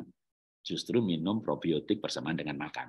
Ya, Anda dapat tipsnya, nanti Anda malah GERD sama mahnya sembuh. Karena Anda produksi asam lambung nggak banyak-banyak. Dengan diakali, makan itu makanannya dicampur dengan probiotik yang memang pH-nya rendah saat makan. Ya. Enggak udah jangan minum jus pro perut kosong, jangan. Karena itu asam ya. Perut kosong minum air alkali bagus saya setuju gitu ya. Jadi segala sesuatu ada waktunya dan ada alasannya kenapa demikian ya. Alasannya sederhana kok masuk akal gitu ya. Biangnya jus pro promik diminum apa dampak? Nggak masalah ya. Minum promik itu kayak anda beli kapsul probiotik anda minum makanya kalau saya ketemu teman-teman yang di Eropa di Amerika di Jepang ya nggak usah pakai promik udah beli kapsul probiotik. Tapi yang kapsul ya bukan yang pil. Kalau pil kan harus dihancurin. Beli kapsul probiotik air 5 liter buah satu setengah kilo atau air dua setengah liter buahnya satu kilo kapsul probiotik dua biji taburkan tiga empat hari. Jadi jus jus probiotik. Biangnya pakai biang kapsul probiotik. Nah, kapsul ini diminum, ya memang dijual buat diminum. Sama juga Promik itu dijual buat diminum. Promik itu sebenarnya kayak Yakult, ya sama. Cuma Yakult dari bahan bahan susu. Tapi Yakult udah ada gulanya, ada ininya, ada ininya, nggak bisa buat biang. Ya bisa, sebenarnya bisa. Ya, Anda beli kefir yang udah jadi pun bisa untuk biang juga. Anda kefir udah jadi, Anda campur susu, kalau nggak jadi, itu berarti bakterinya sudah mati. Cuma rasa kefir. Kalau kefir itu adanya di Transmarket, Hero, ditaruhnya di kulkas, nah ya itu berarti bakterinya masih hidup. Kalau ditaruhnya bukan di kulkas, mungkin bukan bukan mati juga ya, mungkin tidur. Nah kalau bakterinya masih hidup, itu bisa untuk biang. Jadi minum biang ya nggak apa-apa. Ya memang Promek itu dijual untuk diminum. Cuma diajarkan sama produsernya kalau mau irit ya dan mau customize ibu-ibu suka masak buah ini buah itu dicampur loh kalau kalau sakit ini buahnya ini sakitnya buah kan jadi asik gitu ya dan juga jadi murah jadi diminum nggak masalah jadi minum jangka panjang ya kefir saya udah minum dari 2009 yang bermasalah itu kalau misalnya anda minum air kefir satu liter satu hari ya kalau sampai satu liter ya pasti pH darahnya mungkin pH darahnya tetap sama. Tapi untuk membuat pH darah 745, asamnya harus dibuang. Untuk membuang asam itu, ya makanya kencingnya di asam karena asamnya dibuang. Dibuang nggak nyanda untuk menetralkan pH darah, ambil kalsium dari tulang, jadi kropos gitu. Jadi segala itu makanya jangan kebanyakan. Ya, kalau nggak kebanyakan kayak makan sayur kebanyakan jangka panjang ya asam urat. Minum, minum vitamin C kebanyakan perutnya begah mual. Jadi segala satu jangan kebanyakan. Kalau jangan kebanyakan, jangka panjang itu berapa? Ya saya sampai mati nanti ya saya akan minum jus pro. Ya, kalau saya ketemu kenal jus pro kan baru dua tahun. Tapi Promek saya eh, tapi kefir saya ketemu kefir 2009 ya sampai sekarang malah mikrobiom saya makin sehat. Bahkan karena saya minum kefir, Dulu saya itu laktos intoleran. Bahkan saya dites DNA, sampai sekarang masih laktos intoleran. Jadi secara DNA, saya laktos intoleran. Dan betul itu. Sampai 2009, kalau makan minum susu, mencret, begah, kembung. Udah. Tapi sejak saya minum kefir, kalau saya mau minum susunya, langsung ini. Nggak masalah sekarang. Kenapa? Minum kefir konsisten dari 2009 sampai sekarang, dan sampai saya mati nanti, membuat bakteri asam laktat. Itu ada dalam tubuh saya. Orang laktus intoleran karena bakteri asam laktatnya kurang. Nah, bakteri asam laktat itu ada dalam jus pro juga. Ya, ada dalam kefir juga. Karena bakteri asam laktatnya banyak dalam usus saya, lalu saya makan minum susu yang mengandung laktus, ya nggak masalah. Diure sama bakteri. Makanya nggak kentut lagi minum susu gitu ya. Tapi saya tidak mau memperkosa bakteri asam laktat yang dalam perut saya ya. Jangan dikasih banyak-banyak ya. Susu ini kerjanya keras. Tapi kadang minum sedikit-sedikit nggak apa-apa. Nah bakteri asam laktat ini juga hanya tidak hanya mengurai laktus ya. Dia juga bisa mengurai karbohidrat serat. Maka serat itu disebut prebiotik jadi serat yang dari sayur ya itu prebiotik prebiotik itu makanannya probiotik Makanya kalau orang yang dari kecil tidak pernah sakit sama sekali, tidak pernah minum antibiotik, sebenarnya tidak perlu makan probiotik. Tidak perlu. Kenapa? Waktu lahir sudah ada probiotik dalam tubuh kita. Yang penting probiotiknya dikasih makan. Apa makanannya probiotik? Sayur. Makanya kalau orang diet nggak makan sayur, ini sebenarnya nggak dapat antioksidan, nggak dapat fitokimia, tidak dapat prebiotik. Nah, prebiotik nggak ada, probiotiknya mati. Padahal probiotik itu, mikrobiom itu, pabrik enzim dalam tubuh. Jadi sayur itu tidak sekedar uh, ini ini itu ya, fungsinya banyak. Makanya kalau kita belajar metabolisme tubuh dan memahaminya secara keseluruhan, maka diet kita itu nggak sepotong. Sepotong itu misalnya terus demi gula rendah, nggak ini, nggak ini, nggak ini, nggak ini, nggak ini. Lalu nanti fungsi-fungsi lainnya gimana? Itulah kenapa ada orang yang malnutrisi ketika dietnya hanya betul-betul tidak makan sayur dan bumbu-bumbunya, gitu ya.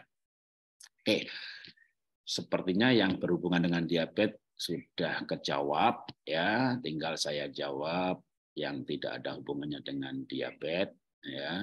Tadi yang soal DNA, glukoma. Oke, saya naik ke atas lagi aja deh. Kalau gitu saya jawab sekalian. Tadi eh, kesemutan dan juga kedutan. Ya, kesemutan dan kedutan itu berhubungan dengan saraf. Ya, pembuluh darah yang nggak lancar atau ada saraf yang kecepit, maka ini sebenarnya paling gampangnya itu olah nafas. Udah ya. Dan body stretching. Olah nafas yang mana, Pak? Olah nafas itu satu kesatuan. Breathing teknik, main fokus. Itu kalau Wim Hof ya. Kalau saya Wim Hof 2, MBSR, MBCT. Jadi Wim Hof pun tidak mengajarkan hanya breathing teknik. Makanya saya di pola hidup sehat itu ada Wim Hof 2 dan MBSR MBCT. Wim Hof 1 itu hanya pendahuluan. Ya. Kalau Mas Gunggung, eh, Mas Gunggung itu banyak menjadi gurunya para guru-guru olah nafas di Indonesia ini. Dia ada nafas pelan, nafas cepat, olah nafas ritme. Ya, itu dia mengajarkan banyak modul. Ada nafas yang cepat, termasuk kayak ini termasuk ritme cepat, tapi ada nafas pelan. Nah, nafas pelan itu kayak apa? Senci, MBSR, MBCT, Baiteko itu nafas pelan ya. Nah, itu nanti akan memperlebar pembuluh darah. Saraf kejepit lepas dengan body stretching. Body stretching adalah olahraga tapi pelan-pelan sambil tarik nafas. Kepalanya tunduk, tarik nafas, tarik nafas, tarik nafas, tarik nafas, tarik nafas, tarik nafas, kepala ke atas, tarik nafas. Buang nafas pelan-pelan. Kalau bisa 12 detik ya 12 detik tunduk, tunduk, tunduk lagi gitu ya. Nanti goyang kiri, goyang kanan. Memang yang sakit mata, tapi untuk saraf mata ini dari mana? Jalurnya dari otak ke kortek, ke leher, tulang belakang, dari sana baru menyebar lagi cabang ke telinga, naik ke atas ke, mata, maka seluruh saraf tetap harus dilenturkan. Maka ikutin olah nafas, energinya lancar dulu, darahnya lancar dulu, baru body stretching.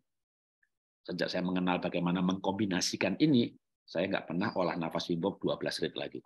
Cukup 6 rit daripada 12 rit lebih baik 6 rit sambung body stretching atau 3 rit sambung body stretching ya nanti yang kesemutan, kedutan, kelopak mata bermasalah sekalian, ya bahkan kayak ada matanya rabun-rabun, biur-biur, udah sembuh aja, ya sembuh. Karena itu sistem saraf dan eh, sistem saraf eh, dan metabolisme, ya. Oke, saya lanjutkan lagi ke bawah.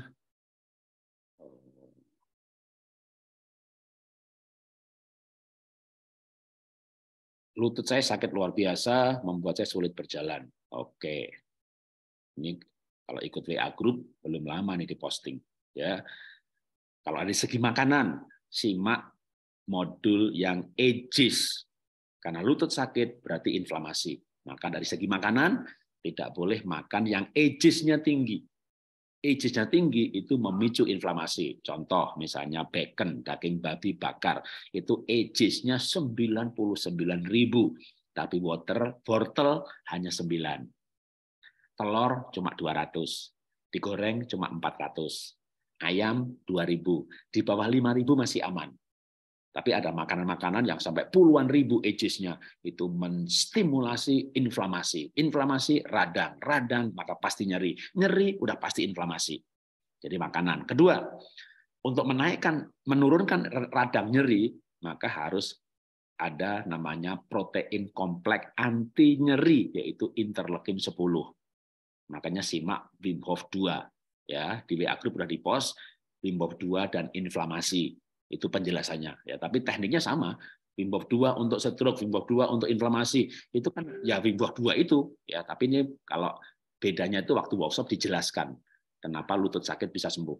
Ya, maka lakukan Wim Hof 2. Lalu lututnya itu senam lutut ini belum lama ini di post di grup ya mengenai senam untuk lutut. Ya. Kalau istri saya bukan sakit lagi, nggak bisa berdiri, berdiri nggak kuat, ya saking sakitnya nggak bisa berdiri, digotong ke kamar. Setelah itu pakai pakai pakai tongkat di airport pakai kursi roda. Naik sekarang naik turun tangga tuh waktu masih lantai dua.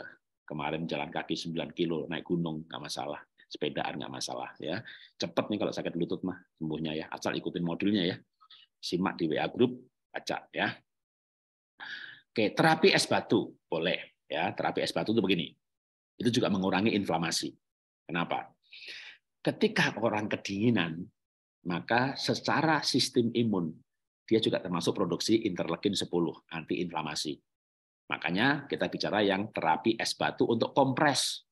Orang panas dikompres es batu, tangannya sakit memar, kompres es batu. Kenapa dikompres es batu? Ya enak, Pak. Kenapa enak?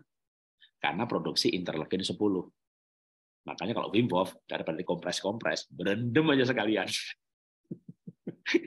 Kalau ikut belajarnya Wim suruh beli es batu satu karung, masukin ke bathtub, berendam 10 menit. Kalau nggak bisa ya tiga menit dulu, satu menit dulu, lama-lama bisa 10 menit udah cukup. Kalau satu karung bisa untuk suami istri tuh ya, satu dulu berendam 10 menit, udah gantian, gantian. Ya. Kalau Wim Hof pas musim dingin dia ke salju pakai pakai celana kolor ngeligo. Ini kaosnya pun dicopot ya. Seluruh murid olah nafasnya diajak naik Gunung Kalimanjaro, naik ke Spanyol, pergi ke Colorado. Itu orang lain pakai baju berlapis-lapis, dia Colorado ini ngeligo gitu ya. Widu itu imunnya naik, interleukin 10 naik, nyeri sembuh semuanya. Jadi kalau kita di Jakarta ya beli es batu aja masukin batah lalu berendam ya. Atau kalau enggak ya lokal saja. Lokal itu sakit lutut lututnya aja dikompres ya. Beli lembaran-lembaran yang kayak jelly itu masukin kulkas dikompres itu udah. Itu itu itu sedang sedang terapi ya istilahnya itu ice bathing ya. Cuma itu kan kompres es. Kalau bathing itu kan mandi maka ada sun bathing mandi sinar matahari. Nah ini mandi air es. Jadi gampang ya beli es batu masukin kalau misalnya nggak mau repet ya udahlah lokal saja nyerinya di sini sini dikompres gitu ya Oke, terakhir soal DNA saya jawab. Sebenarnya masih ada lagi pertanyaan yang lain. Kefir tadi sudah, undur sudah, probiotik sudah. Oke, terakhir saya jawab. Oke, ini. Oh. Oke, terakhir ya saya jawab ya karena dari segi waktu ya. Oke. Kemarin ada testimoni katarak sembuh dengan olah nafas yang mana? Sekali lagi, olah nafas itu satu kesatuan. Paginya Wim Hof, malamnya MBSR, MBCT. Kalau saya menggunakan Wim Hof, anggap aja saya ini Wim Hof ya, Anda harus olah nafas, breathing teknik sama mind focus. Jadi Wim Hof itu mengajarkan breathing teknik sama mind focus. Nah, kalau di pola hidup sehat, mind focus itu adalah MBSR, MBCT. Jadi sakit saya kanker Pak, ya ini. Diabetes Pak, ya ini. Ya, nanti kalau Mas nanti saya akan panggil hari Kamis Mas Gunggung. Tapi kita mau kankernya dulu gitu ya. Nah, nanti pasti ada ritme-ritme tertentu, tapi nggak boleh langsung di situ. Sama juga kita kejepit di leher. Olah nafas dulu ya. Boleh Wim Hof, boleh body scan, gerakan tangan, gerakan kaki dulu. Yang sakit leher, Pak. Tubuh ini satu kesatuan. Kita harus lenturkan semua badan dulu, nanti pas bagian leher lebih sering. ya Jangan satu, dua, tiga, empat, itu bang olahraga, bukan body stretching. Di stretch, ya, miring tertentu, tarik nafas, lepas nafas supaya lancar. Nah, makanya kalau body mulai ikut body stretching, sebaiknya yang minum anti nyeri, anti nyeri lepas. Yang minum obat anti sakit lepas. Tujuannya apa? Sakit. Oke, berarti segini aja. Nggak sakit, berarti segini miring, sakit, berarti segini, nggak sakit, teruskan, teruskan, sampai nanti sampai sini nggak sakit, udah sembuh.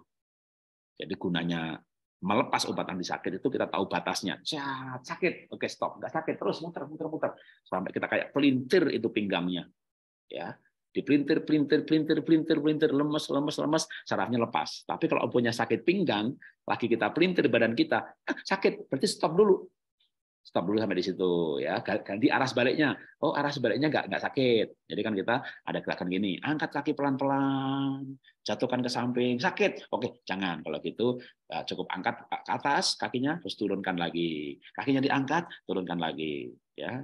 Udah bisa coba ke samping lagi nanti ada berikutnya oh bisa. Berikutnya lagi waktu turunkan kakinya ke samping kakinya ini ke arah tangan ya. Sama juga kita angkat nafas tarik turunkan nafas kita bungkukkan badan Lama-lama kita tangan ini jarinya nyentuh lantai. Lama-lama telapak tangan kita bluk bisa nyentuh lantai. Jadi pinggangnya diputer, puter, puter, puter, tapi pelan-pelan. Ya, begitu sakit berhenti. Itu namanya body stretching. Nanti darahnya lancar, ya, sembuhnya itu bisa di matanya sembuh. Karena seluruh tubuh darahnya lancar.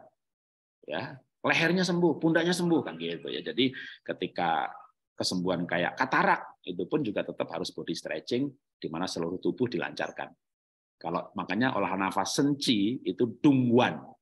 Kalau orang sudah olah nafas 50 sampai 60 jam, paling minim katanya biasanya 40 jam. Terus terang saya nggak mendalami senci, mendalami tapi nggak praktek. ya orang olah nafas nggak banyak aturan soal teknik bernafasnya diem fokus sampai energinya dari hidung ke titik ini titik ini titik ini seputar satu putaran. Nah itu namanya dungguan. Nah butuh waktu berapa lama? 40 sampai 60 jam. Makanya kenapa satu hari harus tiga jam? Supaya tiga minggu selesai. Gitu ya. Titik puspa 14 hari dungguan. Itu dimulai kesembuhan. Tiga bulan lagi cek kemo PET scan bersih kan begitu ya. Sama juga diabetes, begitu tungguan itu energinya berputar dengan lancar. Nah sekarang kan ada kelas berbayar, olah nafas berbayar satu bulan 2 juta. Saya mulai mengajarkan kombinasi Wim Hof dan Senchi. Karena Senchi itu sebenarnya kayak sama mirip banget juga dengan main fokusnya Wim Hof. Yang di saya MBSR, MBCT. Tapi karena program berbayar ini gurunya dua, saya dengan Bu Sinta, bahkan tiga dengan ayah guru, ayah guru dan Bu Sinta mengajari Senchi maka mulai dikombinasi. Paginya Wim Hof 2, malamnya uh, uh, bahkan bukan malamnya, sehari tiga jam senci. Maka kita mulai mendengar cerita-cerita kalau yang lain 50 jam, 60 jam, ini 30 jam udah tungguan. Ya, paru-paru basah aja kering. Kanker paru-paru stadium 4 yang kerendam air biasanya disedot tiap dua minggu sekali, sekarang nggak disedot lagi. Ya itu mulai proses kesembuhan. Nggak bukan kankernya sembuh ya tapi kesembuhan mulai. Bahkan yang sangat signifikan itu ya cairannya kering. Jadi itu mulai tungguan istilahnya. Nah ini ketika olah nafas ini ritme cepat dan pelan dikombinasi nah hasilnya lebih maksimal. Termasuk untuk jadi olah nafas itu tidak hanya katarak olah nafas ini diabetes olah nafas ini enggak Wim Hof itu tidak menyasar untuk orang diabetes orang sehat, sistem imunnya bagus, regenerasi terjadi. Maka kalau kita lihat di YouTube kesaksiannya Wim Hof, orang-orangnya Wim Hof gitu ya, murid-muridnya kan autoimun sembuh, kanker sembuh, diabetes sembuh, katarak sembuh, sklerosis sembuh, di kursi roda lumpuh udah lima bulan, bahkan udah dua tahun sembuh. Wih, dahsyat banget. Gitu ya. Karena kesembuhannya regenerasi sel. Sistem imun diperbaiki, metabolisme diperbaiki, hormonal seimbang. Maka yang sakit-sakit karena hormon tadi, olah nafas yang mana? Kalau pola hidup sehat ini dirinci menjadi 17 macam, yaitu semuanya. Tapi dua 17 macam itu bisa dikelompokkan dalam dua, bisa dua. Ritme cepat, ritme pelan. Nafas cepat, nafas pelan. Atau Wim Hof dan main fokus. Udah sebenarnya dua kelompok itu aja. Cuma kan tak saya rinci lagi. Ada self healing, ada inner healing, ada personality healing, terus gitu yang sebenarnya di John Kabat-Zinn juga ada nafas gunung, nafas pantai, itu kan sebenarnya kan mindset karena olah nafas itu perjalanan spiritual yang diubah mindsetnya sama hatinya. Mindsetnya benar, ya tubuhnya benar. Jadi konsepnya kan begitu dari John Kabat-Zinn. Ya. Oke, terakhir eh, saya anggap terakhir ya karena dari segi waktu soal DNA. DNA itu kalau yang saya ya DNA itu kan banyak ya ada dari pihak lain itu setahu saya sampelnya dikirim ke Hong Kong ada pihak lain lagi, perusahaan cukup besar berada di Indonesia, tapi perusahaan farmasi, sampelnya dikirim ke Jerman. Ya. Lalu ada juga perusahaan lain, itu lab sebenarnya, ya perusahaan, ya perusahaan tapi tentunya lab, itu sampelnya malah dikirim ke lab kita, gitu ya. Karena kita ini ada lab namanya PT Genetika Indonesia. Lalu lab ini juga kerjasama dengan rumah sakit. Nah, lab ini kerjasama dengan Klik DNA, perusahaan marketingnya. Nah, yang dikerjasamakan itu hanya tiga, tiga tes. Ya, yang lain kan nggak boleh untuk publik. Tapi untuk kebutuhan misalnya dokter ada pasien untuk sakit ini tes DNA ini, nah itu dikirim sampel. Tapi itu nggak dijual ke publik. Yang dijual ke publik ada tiga saja, yaitu tes DNA cancer marker untuk mengetahui secara DNA ada kanker apa tidak. Ya, bukan berarti dia kanker loh ya, tapi bapaknya kanker ibunya kanker, lima bersaudara, ternyata dari lima saudara hanya dua yang punya potensi kanker. Jadi ada, nah, karena punya potensi, kalau itu makanya disiasati supaya tidak kanker. Jadi orang yang DNA kankernya positif, itu bukan berarti dia kena kanker, tapi ada potensi kanker. Potensinya di mana? Seluruh tubuh sampel DNA-nya ada 22 area potensi kanker panyudara, kandung kemih, kanker prostat. Itu yang mana? Oh, prostat. Oke, mulai sekarang tiap hari makan tomat. Seumur hidup nggak akan kena kanker prostat kan gitu ya. Itu DNA kanker maker. Ada DNA namanya vaskular. Itu tes DNA untuk mengetahui apakah orang ini punya kecenderungan sakit jantung, gagal jantung dan sebagainya. Kalau iya, disiasati supaya tidak. Gitu. Yang kalau sudah kena jantung ya orang nggak perlu tes lagi, udah sakit gitu kan. Yang sehat malah yang dites. Nah, ada satu tes lagi namanya genomic diet. Dulu genomic diet ini dipecah jadi empat.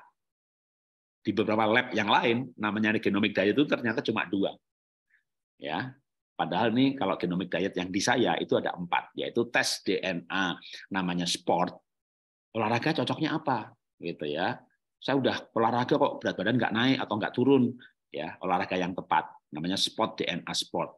Lalu ada skin DNA itu kayak vitamin D-nya tuh 1000 IU atau 5000 IU. Ini dokter berbantah-bantah berdebat melulu.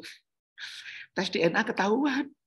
Kamu metabolisme vitamin D, sensitivitas sensitivitas terhadap vitamin D itu bagus. 1000 udah cukup, jangan kelebihan. Segala sesuatu ingat kalau kelebihan itu nggak bagus, pasti ada akibat sampingannya. Ya, kalsium jangan kelebihan juga. Nanti pengampuran lah, inilah, itulah. Jadi semua orang itu ini namanya tuh DNA skin, kulit, karena memang lebih banyak juga untuk kulit.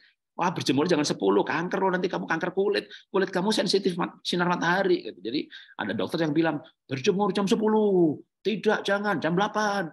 Kita bingung sebagai orang awam ini kenapa dokter beda pendapat. Semuanya benar sebenarnya. Nanti tes DNA itu ketahuan. Lalu ada ada tes DNA health, kesehatan ya itu kayak metabolisme kafein, metabolisme karbohidrat, metabolisme lemak. Saya mau kurus, kurangi lemak atau kurangi karbohidrat? Tes DNA ketahuan. Ya. Lalu ada lagi uh, tes namanya diet. Nah, diet apa yang cocok buat kamu? Itu. Nah, dulu ini dijual 4 juta, 4 juta, 4 juta, 4 juta. Jadi jadi 16 juta. Sekarang ini nggak dijual ketengan istilahnya. Empat ini lengkap sekaligus 9,8 juta. Itu namanya genomic diet. Nah, di lab yang lain, perusahaan lain ada genomic diet.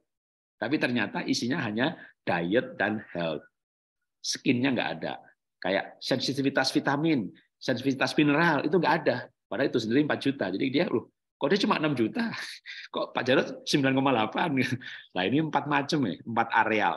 145 DNA. Sedangkan di situ cuma mengenai diet dan health-nya, metabolisme, dan diet apa yang cocok. Ya, nah itu daftarnya ke mana? Seluruh Indonesia dari Papua sekalipun bisa daftar lewat Mitra DNA. Mitra DNA itu setiap konsumen otomatis jadi mitra. Jadi kalau Anda kenal, oh itu udah ngambil tuh, berarti dia mitra itu. Bisa daftar lewat dia. Daftar lewat dia, dianya dapat komisi 10%. Sama juga, ah, saya lewat Pak Jarot aja, saya nggak kenal yang lain. Kenal Pak Jarot, ah terima kasih, ya kan saya dapat komisi. Jadi kalau kita itu jadi ngambil ngambil ngambil tapi kalau di lab lain nggak ada ya sistem begini ya. Ada ke lab yang lain tes tes genomic diet ya jadi konsumen selesai tes ya sudah goodbye gitu kan. Kalau di saya beda. Anda daftar tes otomatis jadi mitra. Dapat e-book, satu e-book itu satu juta loh. Itu dapat lima lagi bukunya ya. Dapat e-book, dapat WA group, lalu ada pendampingan konsultasi dokter satu kali dengan dokter biomolekuler DNA dua kali dengan dokter klinis gizi. Nah, untuk yang klinis gizi dan meal plan ini jadi 9,8 itu tes DNA-nya dan hasilnya 200 halaman dan dijelaskannya. Tambah 910 ribu itu dapat meal plan. Ya, meal plan itu sampai makan karbohidrat berapa gram, gitu itu meal plan. Kalau yang analisa DNA itu penjelasan 200 halaman itu kamu harus olahraganya pagi, kamu dagingnya harus ini. Kalau kamu dagingnya salah, kamu kena ginjal. Itu. Kamu buahnya ini, jangan itu. Nah, itu itu DNA. Nah, meal plan itu sudah sampai gramnya. Sehari protein sekian gram ya, jangan lebih. Walaupun kamu diet untuk diabetes menjadi keto, tapi dagingnya jangan salah, nanti ginjalnya kena. Nah, itu namanya meal plan. Itu hanya tambah lagi 910 ribu, itu pun untuk konsultasi dokternya. Dua kali lagi. Nah, itu namanya meal plan ya, uh, add on. Kalau mau didampingi selama tiga bulan, nah tambahnya lain lagi. Tapi itu namanya genomic diet. Nah ini Anda bisa daftar dari mana saja yang Anda kenal. Termasuk nanti kalau Anda sendiri sudah daftar, Anda bisa ngajak yang lain. Ya kan? Dapat komisi 10%, 10%, 10%, dapat 10 orang balik modal. balik modal. Nah, kalau Anda di tes tempat lain nggak bisa balik modal karena hanya sebagai konsumen kan beli, ngetes, dapat hasil, selesai. Nah, kalau sekarang Pak saya enggak kenal siapa-siapa, ya udah japri saya aja kan semuanya pasti tahu dong WA WA saya kan. WA saya cuma satu kok. Saya bukan orang yang punya nomor dua, dua nomor gitu ya. Ini buat keluarga, ini buat bisnis, ini buat WA grup enggak. Rekeningnya satu, nomor HP-nya satu, istrinya satu. Jadi saya terbuka sama istri, kalau istri pergi ke bank, ini buku tabungan saya, tolong di print, dia tahu saldo saya, HP saya ada passwordnya, kalau hilang nggak ada yang pakai, tapi istrinya bisa pakai HP saya, dia tahu passwordnya, ya. Jadi kembali lagi nomor WA saya cuma satu. Anda masuk WA grup kesembuhan holistik, diabetes, kanker, keluarga bahagia, animasi, pola hidup sehat, ada admin grup kan, yaitu dia itu WA saya. Anda WA saya, saya jawab. Ya kenapa? Ya kan ini kan bisnis. Tapi kalau Jabri nanya olah nafas, udah dijelasin, bukan nggak mau jawab itu loh ya. Yang ditanyakan itu kan udah dijelasin. Makanya sebenarnya itu kenapa saya nggak mau jawab kalau orang Jabri-Jabri itu, lah dijelasin, direkam, diupload, udah dipost lagi di WA group gitu ya. Dibuka kagak, tapi WA. Nah itu yang saya maaf ya jujur kurang suka eh, menanyakan apa yang dijelaskan ya maka sekarang juga WA grup diabetes kan saya bikin satu arah aja dah gitu tapi sebagai konsekuensinya saya buka Zoom kan, Anda bisa tanya. Nanti ini akan lebih sering. Dan nanti lebih seringnya juga, ini kan dulu karena kebanyakan grup jadi nggak fokus. Sayanya juga nggak fokus pada grup-grup yang mana. Nah sekarang nanti selain saya, ya nanti akan saya panggil pembicara atau dokter Mira atau Pak penyintas-penyintas yang lebih sering untuk kita tanya jawab. Ya, tapi di WA grupnya satu arah aja dah. Ya, biar menyimak pelajarannya lebih urut. Dan saya janjinya gini, grup diabetes satu arah tiga bulan harapan saya kalau benar-benar disimak terus-menerus selama tiga bulan, itu paling tidak itu minimal obat itu turun udah separuh dosis atau tiga perempat dosis. Udah silakan chat chat chat chat ngobrol. Saya udah jarang buka WA grup lagi loh yang udah dua arah. Ya hanya berkala saja. Lalu saya akan buka grup baru diabetes untuk tiga bulan satu arah. Saya akan zoom lebih sering, gitu ya. Setelah udah tiga bulan, saya merasa sudah cukup mengajarkannya, saya buka dua arah, bahkan mungkin nanti kalau ada admin-admin yang mau meneruskan, saya pengen live group sih, kayak kesembuhan holistik, kanker, diabetes yang sudah dua arah, tulang saraf itu saya pengen punya, udah tak serahkan aja ke adminnya kepada teman-teman, biar saya buka yang baru lagi untuk pasien baru kira-kira begitu ya. Kalau sudah mendekati kesembuhan, udah saling berbagi aja jadi komunitas. Tugas saya istilahnya sebagai guru udah selesai gitu loh ya. Oke, terima kasih. Selamat pagi ya. Sampai jumpa lagi dalam program-program eh, selanjutnya.